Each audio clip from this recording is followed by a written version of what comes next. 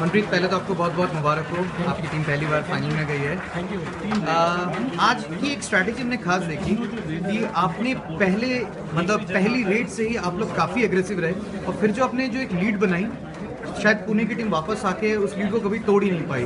तो ऐसी कोई स्ट्रैटेजी थी कि आप शुरू से एग्रेसिव रहेंगे आज? हाँ सर ऐसे पिछले दो मैच जो हमने लीग के साथ खेले हैं वो दोनों मैच लीड लेके खेले हैं। और लास्ट में जाके गड़बड़ हो जाती थी एक दो पॉइंट से और वो वहाँ पे टाई हो जाता था मैच लेकिन इस बार हम ये प्लानिंग करके आए थे कि जो इस बार शुरू में हम लीड बनाएँगे, उसको आगे लीड में कन्वर्ट करना है, ना कि रिवर्स लेना है, जैसे पिछले मैचों में हो रहा था। तो वो सक्सेस होते रहे, हम लीड पे लीड करते रहे और वो गलतियाँ पे गलती करते रहे, हम उस चीज़ का एडवांटेज लेते रहे और लास्ट तक वो कवर नहीं कर पाए उस चीज़ को। तो बहुत हैप्पी जो आज प्लान बनाया था उसमें। आपकी टीम में दो बड़े ही धुरंधर रेडर्स हैं प्रदीप और रोहित। तो एज अ कैप्टन और सीनियर मेंबर आप उनको कैसे मोटिवेट रखते हैं? और मतलब मैच में जाने से पहले आ, मतलब क्या बोलते हैं? क्योंकि वो जब रेड के लिए आते हैं तो फिर तो वो मतलब ज़बरदस्त एकदम करते हैं रेडिंग देखो सर बेसिकली मैं बहुत अच्छा रेड रेडर हूँ। तो इस लीग में मेरे को जिम्मेवारी मिली है कि आपके पास और यंग है सभी ब्लैक के जो भी हैं। और इनका सबसे बड़ा एडवांटेज क्या है कि ये पहले लीग खेले नहीं दोनों।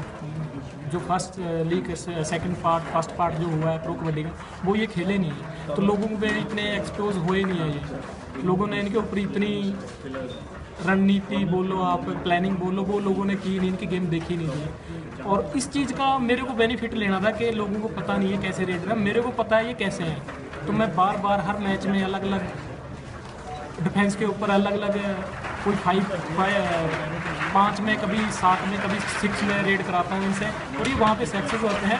तो मुझे को बहुत खुशी है कि आने वाले जो हमारा एक मैच बचा है फाइनल उसमें भी अच्छा करें।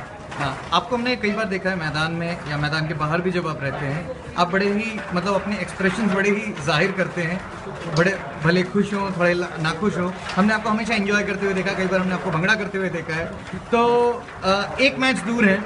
तो क्या लगता है आपको, क्या रणनीति रहेगी कल की? यू मुंबा या बंगाल वॉरियर्स सर, ऐसा है, कल मॉर्निंग में जैसे सूरज निकलेगा, एक सुबह नहीं होएगी, एक नया दिन चढ़ेगा। और उसके अंदर हर प्लेयर का हर संसार में जितने भी हम सांस लेने वाले हैं, हर का एक नया जीवन होता है, सुबह के साथ। तो उसकी प्लानिंग कल बनाएँगे सर। आज मैच जीते हैं तो थोड़ा इन्जॉय करने में तो कल देखेंगे क्या होता है, किसके साथ मैच आएगा तो वैसी प्लानिंग होगी।